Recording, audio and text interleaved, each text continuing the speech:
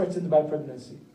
In the old days when the hospitals weren't so advanced, when medicine was so advanced, becoming pregnant, giving birth, could become life and death. Life for the child, but death for the mother. Until today, it poses significant risks. Becoming pregnant, having a child is not an easy thing, brothers. Don't take it for granted that this nine months the mother is carrying the child is something easy. They could have several of them, no problem. It shouldn't be a big deal. Why are mothers and uh, people in the media talking about becoming mothers, so becoming such an issue? No, brothers. You cannot imagine how difficult it is. It is so difficult, the Quran has mentioned the difficulty of it. حَمَلَتْهُ أُمُّهُ وَهْنًا عَلَى وَهْنٍ How did your mother carry you in pregnancy? Did she carry you and not care about you? When you were born, when in the first few days, did your mother ignore if you were crying for milk? If your mother had food for herself and food for the infant, would she care about herself before she cared for, for the infant? If it was a matter of choosing between her life and the infant's life, would not a mother gladly give her life to save her son's life or her daughter's life? This is the condition of a mother. When she gives birth to the child, she will do anything to keep that child alive. She will suffer cold. She, she, will suffer death. She will suffer pain. She will suffer injury. She will do whatever she can to protect this child. In this case, how do we repay a parent like that?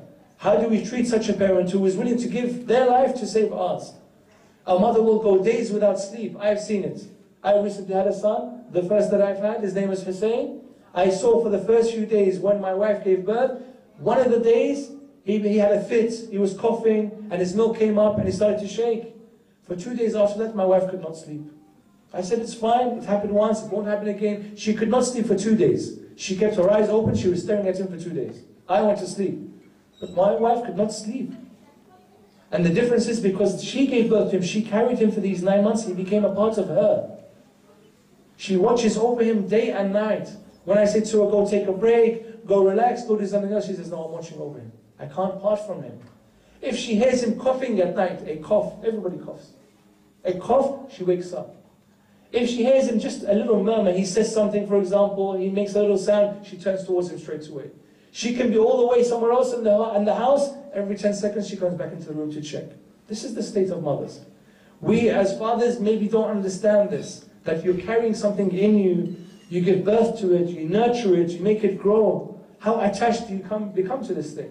Some of the brothers, they go out and buy things from the store, maybe a new phone, maybe a new laptop. How careful are you over it? You go and buy it from the correct store, you make sure it has a warranty, you make sure it's original product, you put it in a case, maybe you go and get insurance for it. You buy the accessories. If one of your brothers or sisters touches it, don't touch it, this is mine, stay away from this. If it falls, immediately go and look to check, oh, is it broken, is it okay? You clean it, maybe you buy some materials for it, yes?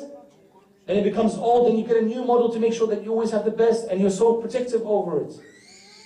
Imagine this times a million is exactly what mothers feel for their children. SubhanAllah. We cannot imagine this as, as brothers, as fathers. But the mothers, they feel this. They don't need someone to tell them. They don't need a book. They don't need anyone to inform them how to feel. It is something inside. And that's why they're willing to die to keep this infant alive, to keep this infant well. So the Quran describes this. It says, حَمَلَتْهُ أُمُّهُ وَهْنًا عَلَى وَهْنٍ So be good to your parents. One of the reasons why you should be good to your parents, specifically your mother, is because she carried you despite her body failing, becoming weaker and weaker. The Prophet was asked, وسلم, he was asked, Allahumma salli ala Muhammad wa ali Muhammad. The Prophet was asked, Ya Rasulullah, a man came to see him, he was not from Hijaz, he was from outside. He said, Ya Rasulullah, how do you advise me, or who should I most care about? And deal with carefully in this life. He said, oh, Ummuk, your mother. So the man said, okay, after who? The Prophet said, your mother. Second time. He said, okay, after. The Prophet said, your mother. And after the third time, the man said, and anyone else? Or who is next? Then he said, your father.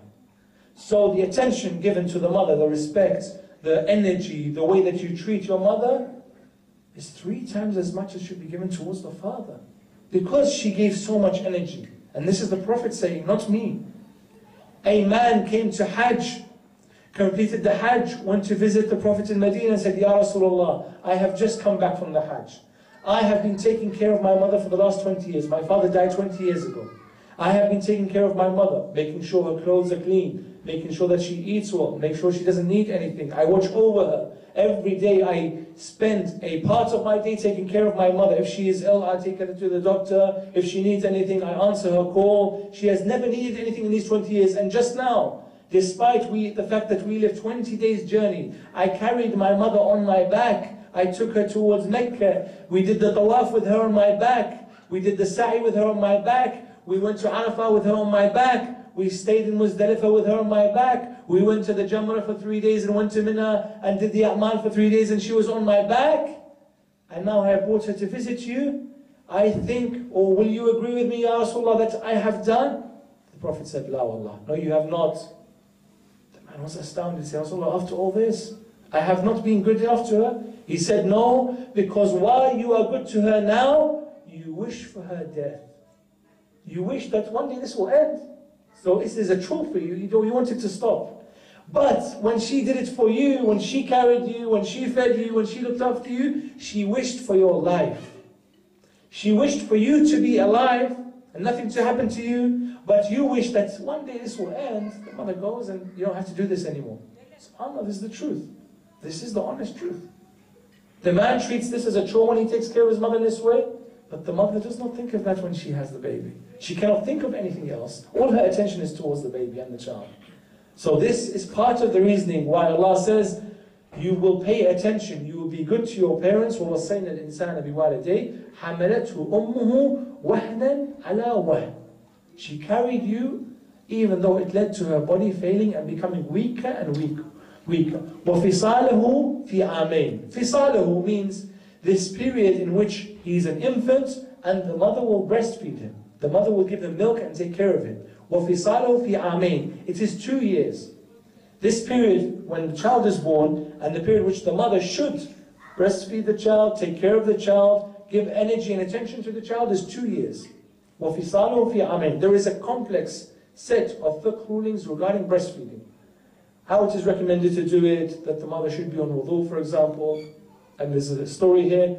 The mother of Sheikh Murtada al-Ansari, called Sheikh al-A'zam, Sheikh al-Fuqaha, he uh, was buried in Najaf in the year 1860, so 150 years ago. All the mujtahids who are alive today are from the school of Sheikh Murtada al-Ansari. He's buried in Najaf. He's the author of Al-Makasib. He's the author of Fara'id. Very famous scholar, great mujtahid of his time.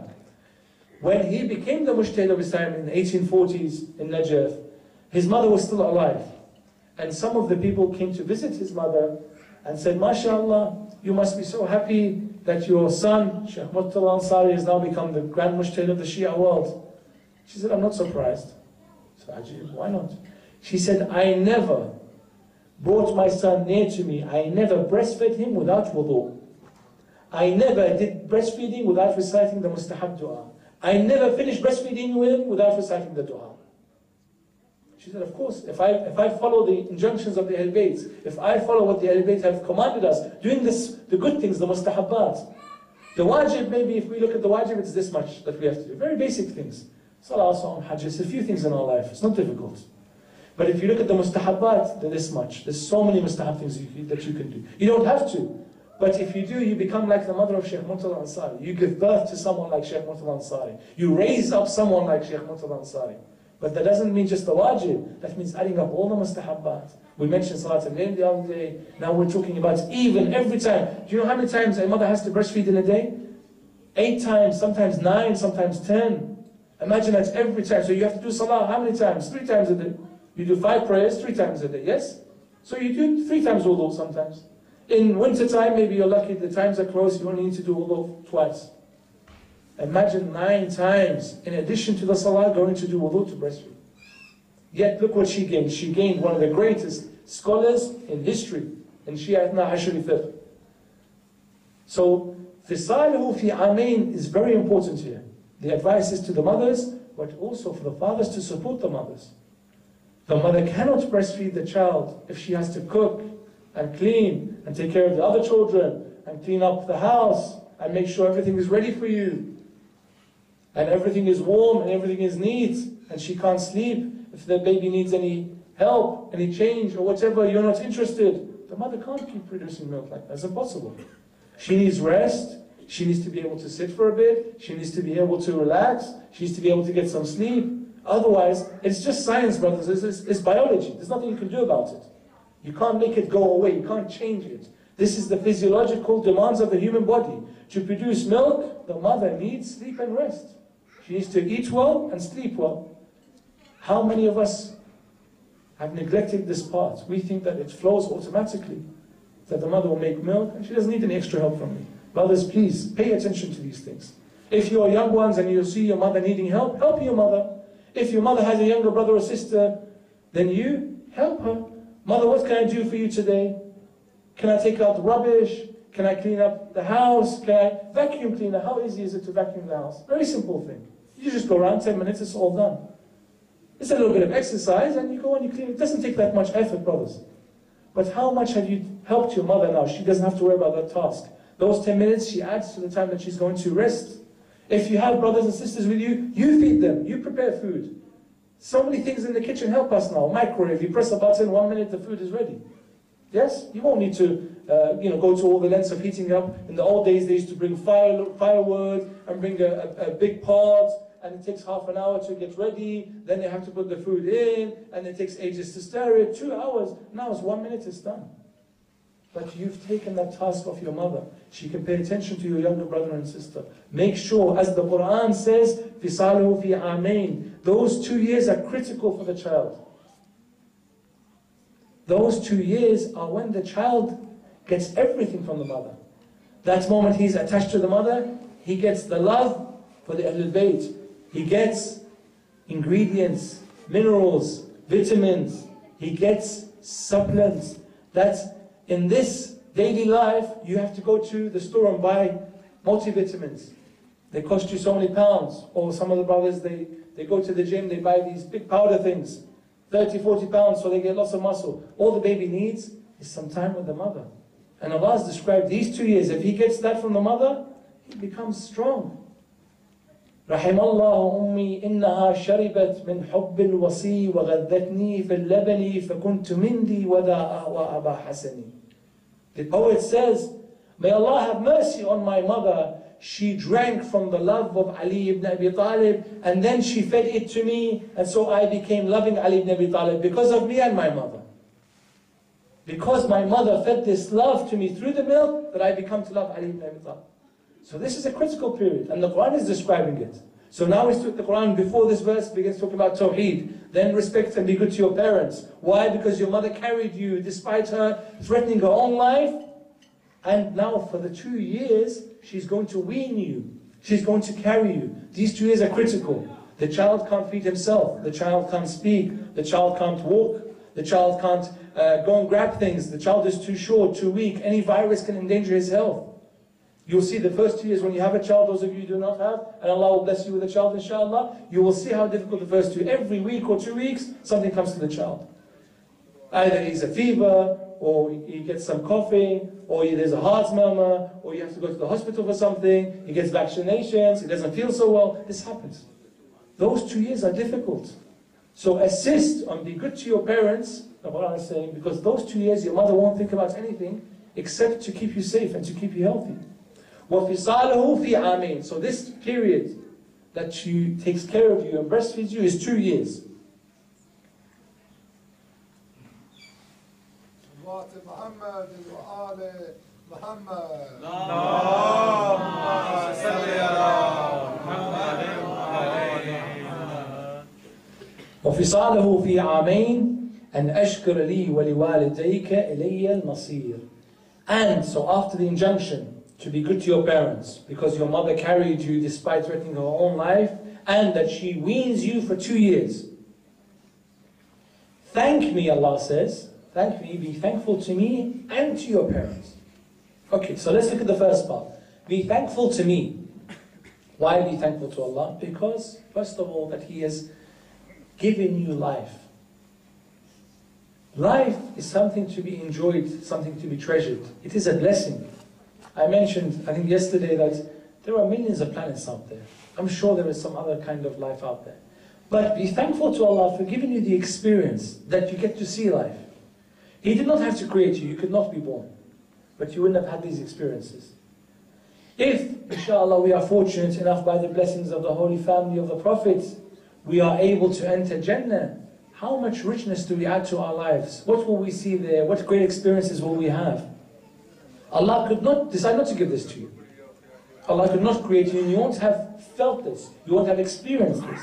But Allah has been grateful. Allah has uh, uh, given you something for you to be grateful for. And that is life itself. And you get to see and experience and feel and touch and smell and laugh and see your family and see your children and see your friends. And if you're fortunate, you go to ziyarah. If you're fortunate, you're on the path of Ali ibn Abi Talib. If you're fortunate, people say good things about you. If you're fortunate, every day you pick up the thawab. If you're fortunate on the day of judgment, Allah says you can be the one who will enter heaven and join the rest of the good people. So it's a great experience, this life. So be thankful. Number one, for giving life to you. Number two, for giving you good parents Be thankful for receiving these type of parents that the Quran describes. حَمَلَتُهُ وَهْنٌ عَلَى وَهْنٍ حَمَلَتُهُ وَهْنًا عَلَى وَهْنٍ She carried you despite the threat to her life and getting weaker and weaker. Be thankful that you have these kind of parents. Be thankful to me for giving you such parents. That the mother will risk her own life to keep you alive. That the father will work hard to make sure you come out a decent person. That he will do his best to provide whatever he can for you. Some of the fathers I know in this community and others, they work 12 hours a day, 14 hours a day, 16 hours a day. I look at them, they don't have huge amounts of wealth, but what do they have? They tell me, my son has an education. My daughter is healthy. My other son gets what he wants. My other daughter can go out to the market and buy what she wants. They are comfortable. They have a future. The father will kill himself to work hours. Some brothers out there, they work seven days a week. Some brothers out there work from day till night. No machine would work that many hours. Even a machine has to be serviced, switched off, given some rest. I see some brothers out there, they work long hours. What for? Not to put the money in his account and he'll be happy with himself, to buy him a flashy car, or to buy him something nice. He says, well, I do it for my children. So they have the opportunity to go to the best university, so that I can give them the best health care, so that I make sure they are comfortable in their life. Maybe I did not get such a chance, I'll make sure they have such a chance.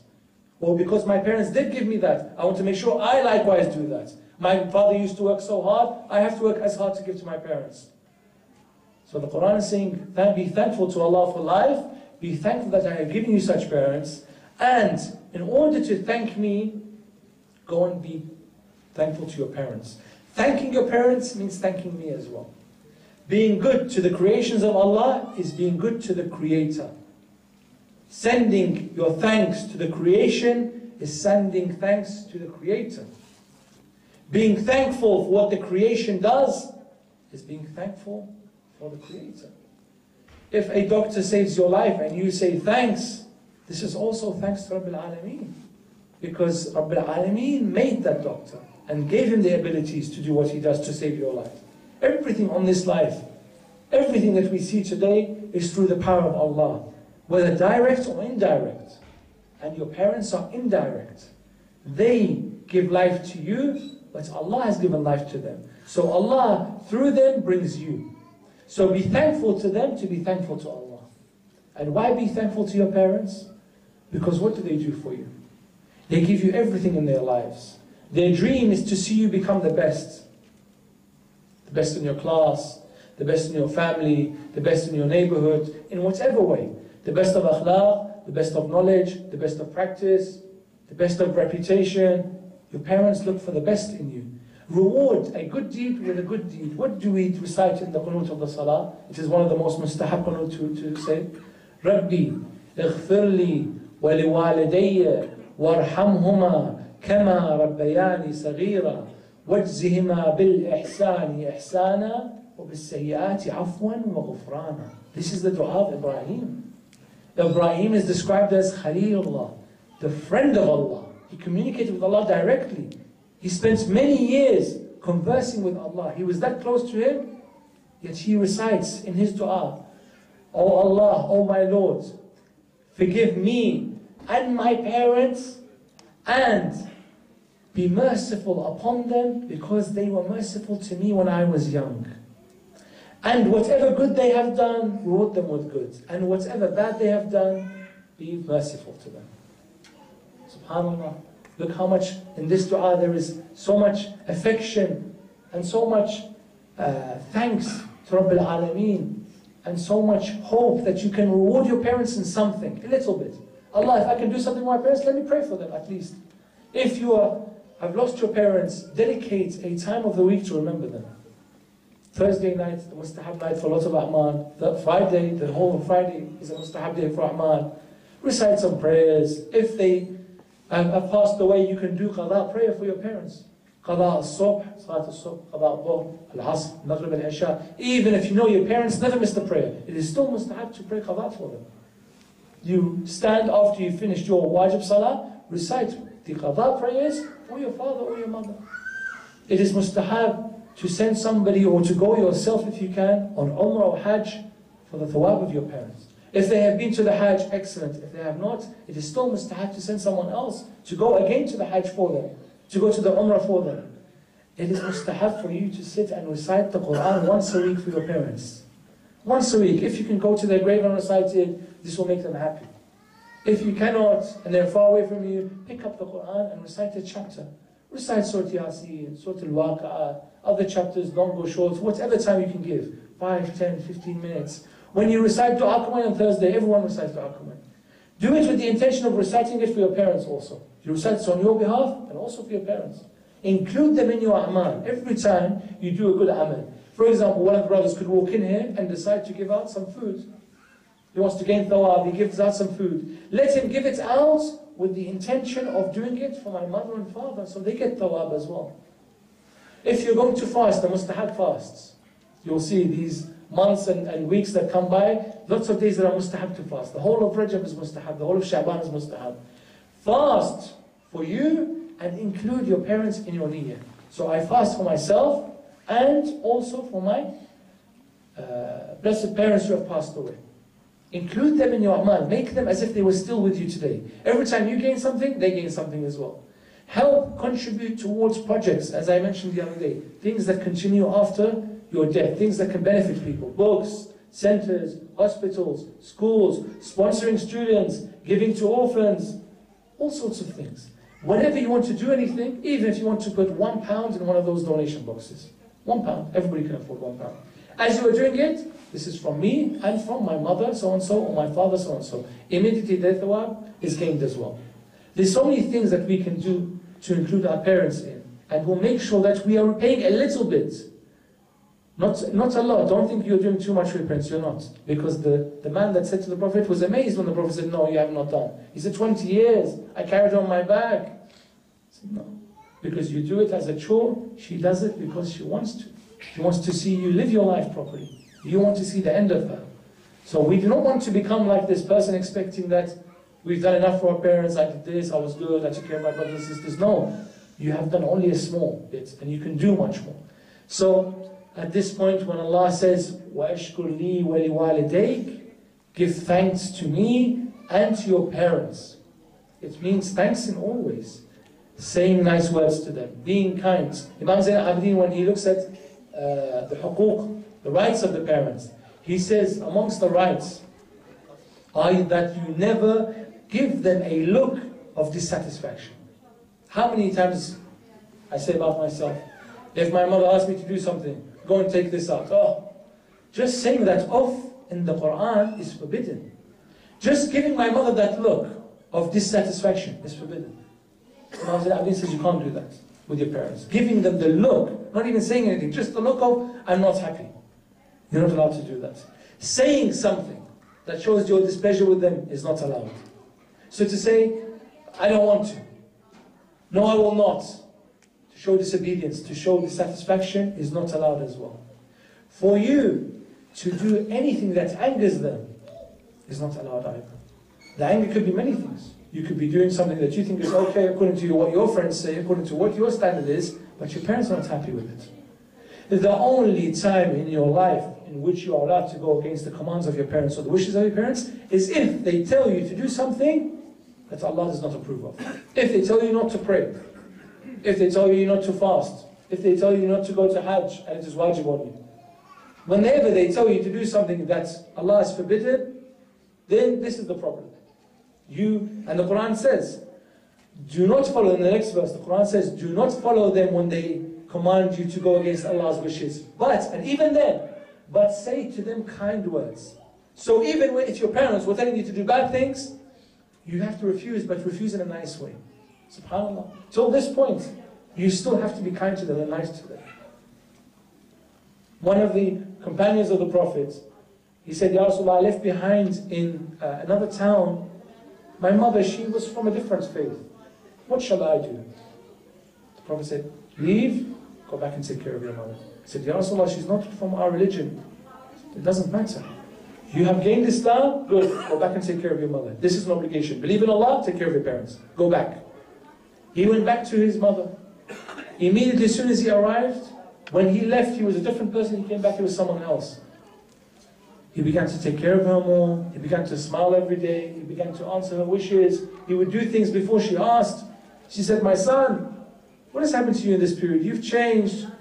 What is this you've become? He said, This is not from me. There is a man who has taught us to become like this. She said, I want to meet this man. Who is it that has this effect on people? She is taken to the Prophet and she asks him questions. She says, O you who have commanded my son to become a better person, what do you ask for in this life? He said, I don't ask anything except that people love my family. So this is one sign. Number two, do you want wealth from us? Do you want to take some of our money? He said, no. There is part of it that you give to Allah, that you spend on people. She said, this is the second sign that he is answering. The third, she says, if I have something, would you be able to tell me what it is right away? He said, No, all my knowledge is from Allah. I seek answer and I give to you. She said, This is the third. He is the Prophet. Because these three things, not anybody can have. Only the special people. Then she said, I will become on your faith, I will join this religion of yours. So the son's behavior, he did not open books for her, he did not convince her to become a Muslim. Just his actions, the things that the Prophet has recommended to us, has convinced her to become a Muslim. So today when we live our life, and give thanks to our parents. If they're Muslim, Alhamdulillah. If they're not, let us act in the right way. If they're telling us to do good things, let us respond in kindness. At never at any point, Allah never says at any point you be disrespectful to them. At never at any point. It is forbidden. Imam Zain in his the, the treatise on, on, on rights, he says these are forbidden for you to look the wrong way, to utter some word in the wrong way, to say something that pleases them, to, this, to disobey them is forbidden. All of these things are forbidden. And then Imam Zain al-Abidin continues, and he says for the parents, raise your child for seven. He means seven years. Raise your child for seven. Teach your child for the next seven, and befriend your child for the last seven. So the first seven years of the child's life, raising. So this, if you're six, five, four, three, seven, know what your parents are trying to do is an obligation from the imams. They're trying to raise you, teach you manners, teach you akhlaq, teach you the way you should behave, so learn from them. And then seven, you're going to be taught. The parents will teach you salah, teach you the wajib things, teach you the ahkam of tahara, teach you what you must do in terms of reading the Quran properly. They will teach you these, this part. They will spend money, they will take you to school, they will take you to tutors. Fathers will drive you, go through traffic and come back and pick you up again. They'll work very hard to make sure this seven years now in the middle of your life, you get an education, an Islamic education. They make sure you know now why you are a Muslim. And then from that age, so from 14 years old, for the next seven years, befriend them. Become friends with them. Your father will begin to rely on you. Yes? You reach that age 14, 15, your father needs your help now. Your father becomes elderly. He begins to trust you. He begins to hand over things to you. He begins to have you he become his representative. He maybe uses you in his business affairs. Your father begins to trust you to, to take care of the family. Your father may travel and leave you to take care of the house. So in this age, you become the friend of your mother and father. If you're the daughter, the mother at this age treats you like a sister. You're not a child anymore. She befriends you, you begin to spend time together like your friends, you have fun together, you sit and talk together, you share things. So this is the injunction of the Imam. Seven years you raise them, seven years you teach them, seven years you befriend them. Then after they will become parents themselves, and they will have to go through this cycle. And then you remember your parents. and say, SubhanAllah, I remember that time. The same thing has happened to me. If you do good, good will happen to you. If you do bad, bad will happen to you. If you're bad to your parents, your son will be bad to you. This is a given. This is a formula. If you do not become good to your parents, Allah will make sure the same happens to you. Allah will make sure you have a child who's not good to you. And then you'll remember, ah, I know why this has happened now. Because I did not follow the commandments of Allah.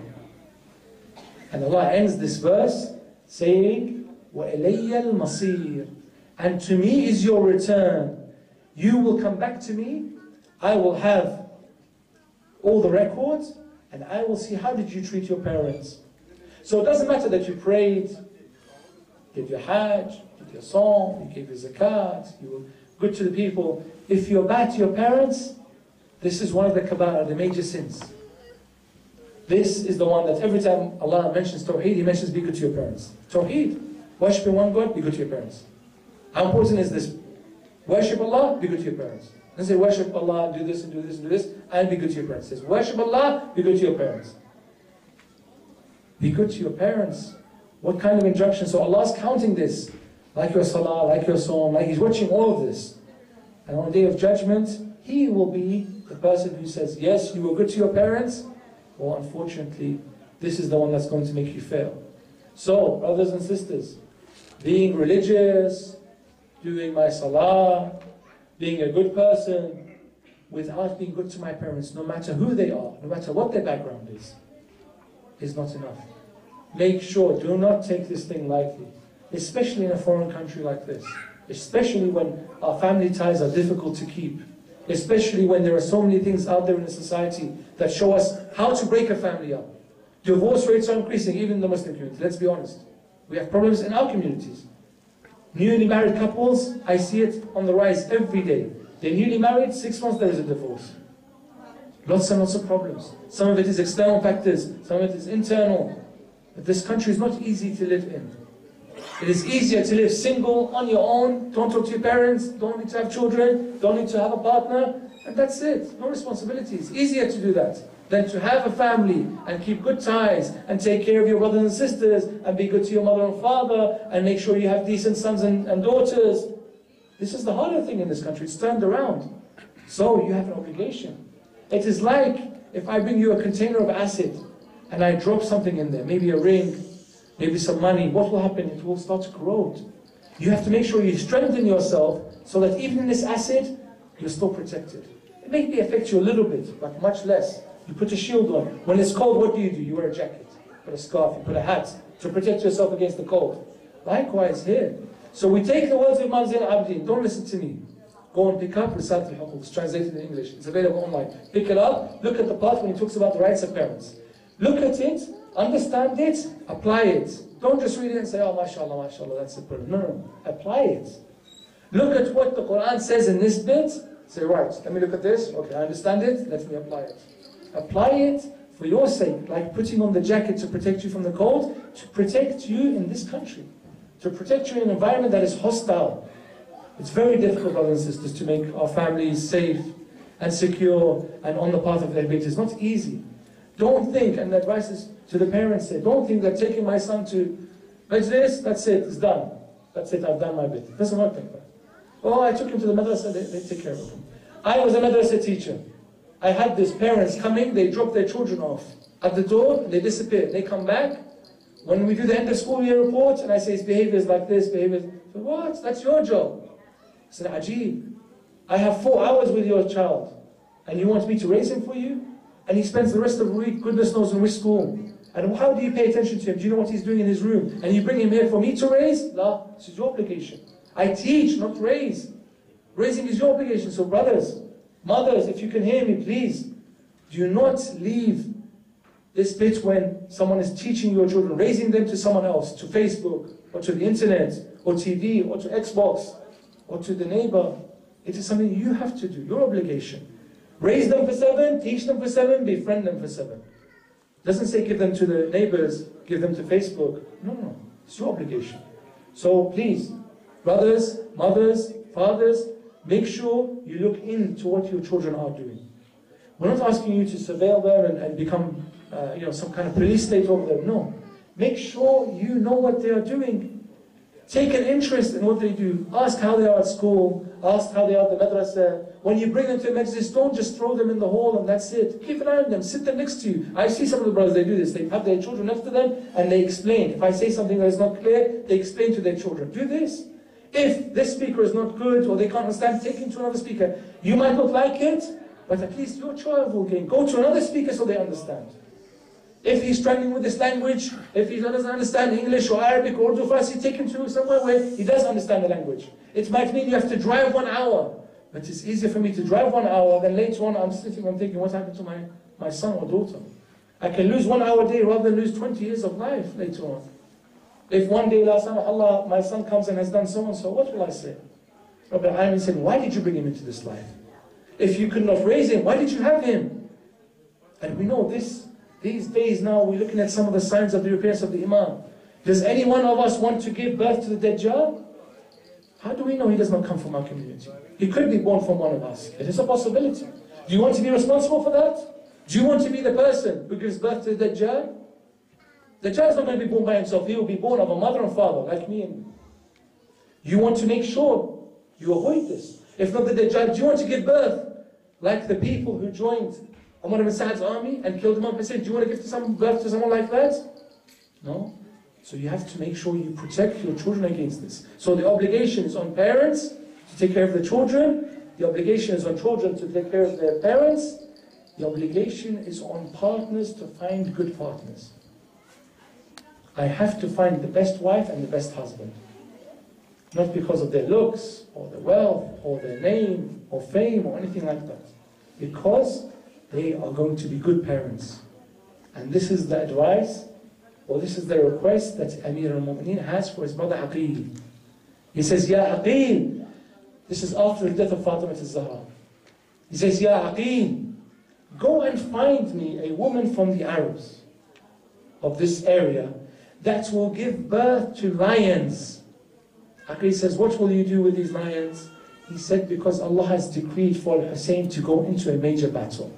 And these lions will join and support their brother Hussein. Aqil was known to be someone who understood lineages and he would go and he was well connected to the community. Aqil went and asked, at the time he was asking, a woman called Fatima bint Hizam al-Kilabiyya. She had a dream. She saw in her dream, she told her father, she saw in her dream that the moon and four stars came into her house and sat next to her, sat in her lap. She asked, what does this mean? Her father asked for the interpretation. They told her, you will marry someone famous, someone with high regard, and will give birth to four great sons. Aqil recommends Fatima bint Hizam al-Kilabiyya to Amir al-Mu'mineen. Amir al-Mu'mineen takes the advice, goes to propose, the marriage happens. Fatima bint Hizam al-Kilabiyya comes to Medina. She is about to enter the house of Amir al-Mu'mineen for the first time. She says to him, Ya Ali, Ya Amir al-Mu'mineen, when I enter this house, you cannot call me Fatima anymore. He says, why? Fatima is the best of names. She said, because Al-Hassan and Hussein will remember their mother Fatima. If you call me Fatima in front of them, they will begin to cry. They will remember what happened to Fatima. They will miss Fatima to Zahra. Call me something else. Call me Ummul Baneen, the mother of the sons, because inshallah I will have sons to support your sons. So Amir al-Mu'min refers to her from that day as Ummul Baneen. She enters the house, she raises Al-Hassan and Hussein like her own children and takes care of them more than she does of her own children. When Abu al-Fadl al-Abbas is born, she brings him towards Amir al-Mu'mineen. She says, Ya Amir al-Mu'mineen, here is the son that you wanted.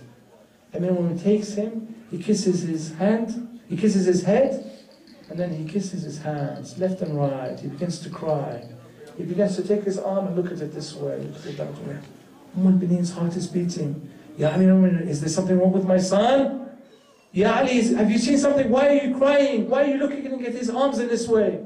He says, no, no. But one day something will happen to these two arms of his. This is why I am crying. Umar bin says, what? He says he will lose his hands left and right in the battle. I kissed him on his head because he will be struck by an arrow here. He will die serving his brother Hussein. She says, for this I am happy. Yes, if it is for Hussein, I am happy. Go. And the days go. Al-Abbas prepares to leave Medina. She says to Al-Abbas, leave this son of yours with me. Go and focus your attention on Hussein. Go towards Kufa, go towards Karbala. Keep all your energy towards Hussein. I will take care of this infant of yours. And she waits and waits until one day she hears commotion in the markets. What is happening? There is news, there is news of Hussein. She comes, she sees this poet, Bishr ibn Hadhlam, crying, Ya Ahla Yathrib la muqama lakum biha. Qutil al-Hussein fa'al mu'im Oh, people of Yathrib, people of Medina, leave Medina. I say this because she says, What? Come closer, what are you saying? Bishr says, I was looking at this woman who's carrying a child. I said, Who is this woman? She looks a bit different. They said, This is Umar al Benin. He said, Oh, Umar al Benin, she lost four, four sons in battle. Let me tell her the sad news. Ya Umm al Benin, عظم الله لك Umm al-Banin, may Allah reward you for the death of your son Abbas. She begins to cry, she said, I did not ask you about Abbas. Tell me what happened to Hussein. He says, Allah Allah lak al for your brother, your other sons, Abdullah or Muhammad. She said, I did not ask you about Abdullah or Muhammad. What happened to Hussein? He says, Allah Allah lak al-aj for al-Hussein. He says, I looked at her, she fell on the ground, the child fell from her arms. She begins to weep. She makes her way to Sayyidah Zainab's house. Zainab is inside. She says to the servant, don't let anyone in because today is a sad day for us. The servant comes back. She says, there is a woman at the door. She calls herself Umm al-Banin. She says, let her in, let her in. She's one of us. Umm al-Banin enters, she begins to cry, Assalamu alayka ya Aba Abdullah. Oh ya Aba Abdullah, where have you been? What does Zainab reply to her? Wa akha wa Abbasa. Oh my brother wa Abbas, we have missed you today on this day. This is the tragedy of the Ahlul Bayt. This is the attention of Umm al-Banin to her son. This is the love of Al-Abbas for his brother Hussein. إنا لله وإنا إليه راجعون وسيعلم الذين ظلموا أي منقلب ينقلبون إنا لله Brothers, please, on these nights, we request dua. I have been sent some messages. Brothers have asked for dua. There are people in this country that need your dua. Our brothers and sisters, I mentioned this on the first night. There have been messages being sent to brothers and sisters abroad that we will kill you if you hold the majalis of Imam Hussein, that they're threatening the zawar of Imam Hussein. Please, some of us are in desperate need of dua. So on these days, when we inshallah recite the dua, we recite it with a full heart. There is a verse in the Quran that should be recited for hardship. So inshallah we will recite it five times together. Bismillah ar-Rahman ar-Rahim. أمن يجيب المضطر إذا دعا ويكشف السوء. أمن يجيب المضطر إذا دعا ويكشف السوء. أمن يجيب المضطر إذا دعا ويكشف السوء.